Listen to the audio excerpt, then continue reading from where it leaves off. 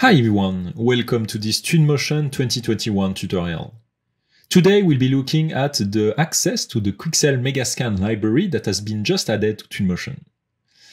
Now you can access to around 8400 Quixel Megascan directly available inside Twinmotion. To find those assets, I will simply come in the left panel over here and open the library. And here you have a new folder, Quixel Megascan. You can find two different type of assets, either the 3D asset, the objects that are in 3D, and the surfaces which are the material. This is just the first version of the link with the Megascan library. And in the future, we will support more type of object, like the vegetation or the decals. Let's start now with the 3D asset. And what I want to use in this project might be found in the streets bollard. Here, the first object that appear right away when I click on the folder is the object that are already downloaded and stored on my drive. But all other assets that are present on the Megascan library are just on the cloud, and you just download the object that you want to use for your project. For example, here, if I want to use this object, I will need to download it. And as you can see at the top right corner of the thumbnail, there is a small download icon. But right now it's grayed out. It's because I'm not signing. To sign in, I will simply click on the burger menu and click on the sign in to Epic Games.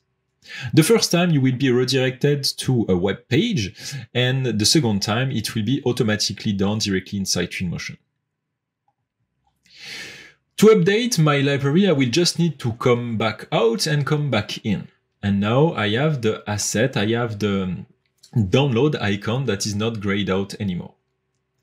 For this specific project, what I want to use is maybe some bollard to place uh, to place on the on the side of my sidewalk over here.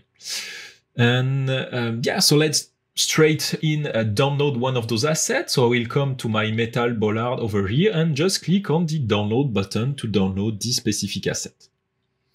As you can see, it's downloading pretty fast. Now the asset is locally on my machine, but it just imported, basically, it just downloaded the FBX and the texture. And the first time you will drag and drop this asset inside the viewport, it will convert the FBX and the texture into some Twinmotion native asset. This processing is happening only the first time you are using this asset. So now if I'm drag and dropping this asset a second time, as you can see, I don't have this processing anymore.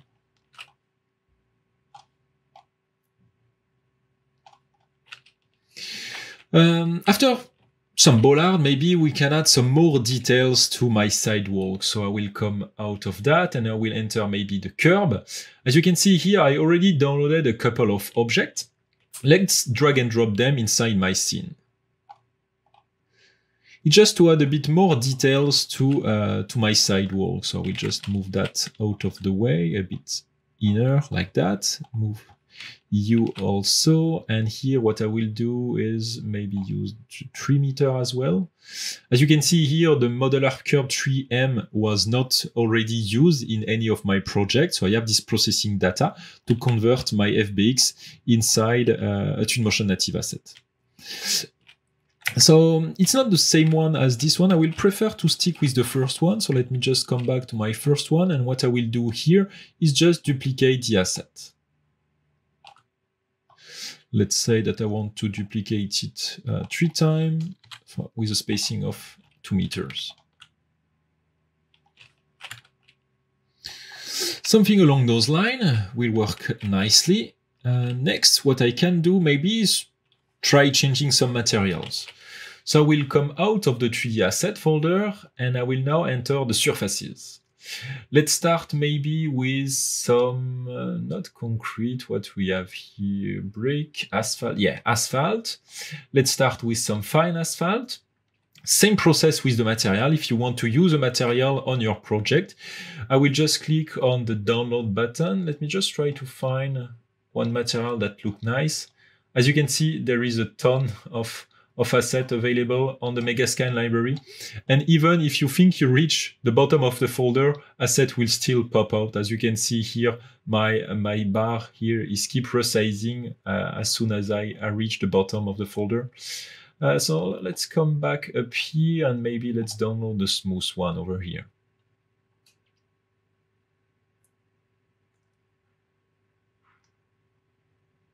Same process when you will drag and drop this material on, on um, a geometry inside your project. There will be a small processing time. And it again, it's happening just the first time you are using this specific material. Those other material that are on the top was already processed and I can just drag and drop them inside my scene. And here you can see a bit the, the quality of the asset that you can find through uh, this link with the Megascan platform. You can find tons and tons of, of assets. Uh, if I come back, for example, to the GUI asset, you can find everything to create some kind of modular building. Like here we have, um, let me, for example, come to the beam. The beam, you will find plenty of concrete and wood beam. You can find everything to create a modular roof you have different kind of doors for your buildings. Outside of the 3D, we have the food, industrial. There is tons of possibility with this new link to the Megascan platform. And it's completely free, so just give it a try. Thank you everyone for uh, attending this quick tutorial. Hope you like it and see you for the next one. Bye everyone.